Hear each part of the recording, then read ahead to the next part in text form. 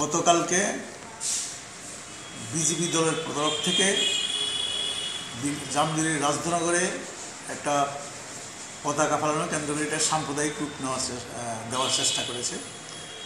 গত পরশুদিন আমাদের সিপিআইএমের কর্মীরা রাজধনগরে মোড়াসমণিতে কিছু পতাকা লাগায়, কারণ চার তারিখে আমাদের একটা কর্মসূচি ছিল, তার জন্য পুলিশের অনুমোদন চাওয়া হয়। কিন্তু আমরা পরে জানি যে এই চার তারিখেই মাননীয় প্রাক্তন মুখ্যমন্ত্রীর বাড়িতে বিপ্লবের বাড়িতে একটা যোগ্য অনুষ্ঠান হবে।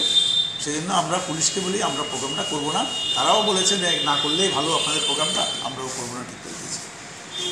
কিন্তু দেখা গেল, কালকে সন্ধ্যার পরে কিছু বিজিবি আসছিল দুষ্কৃতী জামগুড়ি থেকে বাইক গাড়ি নিয়ে এসে মরার সময়তে আমাদের পার্টির পতাকাগুলি ফেলে দেয় এবং একটা দোকান, আমাদের এখানে কর্মী, তার দোকানে ভাঙচুর করে এবং তাকে মারধর করে।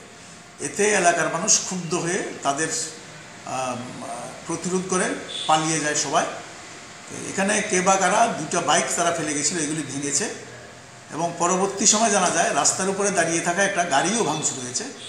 এবং জানা যায়, গাড়িটা পরবর্তী সময় যে একজন পুরোহিত এই গাড়িটা ব্যবহার করেছেন, এখানে বিপ্লবদের বাড়িতে এসেছেন, এটাও ভাঙচুর পরবর্তী সময় পুলিশ উপস্থিত পুলিশের সামনেই আরও কিছু দুষ্কৃতী এসে পরবর্তী সময়ে বিভিন্ন জায়গা থেকে এখানকার তিনটা সংখ্যালঘু সম্প্রদায়ের মানুষের দোকান আছে, এগুলি পুড়িয়ে দেয় এবং ব্যাপক ভাঙচুরে একটা বাইকে আগুন ধরিয়ে দেয় এবং যেই দোকানের মালিক তার একটা জলাশয় ছিল লিজ নেওয়া, তাতে বিষ ঢেলে দেয় এবং এতে সারা বিভাগে প্রচার করে তারা হিন্দু মুসলমান দাঙ্গার পরিবেশ তৈরি করার চেষ্টা করে। যদিও আমাদের তরফকে আমরা আবেদন করছি যাতে কোনো অবস্থাতে এইসব ঘটনা না ঘটে, পরবর্তী সময়ে তারা এটাকে জিয়ে রাখার জন্য পুরো বিভাগ থেকে বিজেপির কর্মীরা সেখানে সমবেত হয়ে পুলিশের উপস্থিতি তারা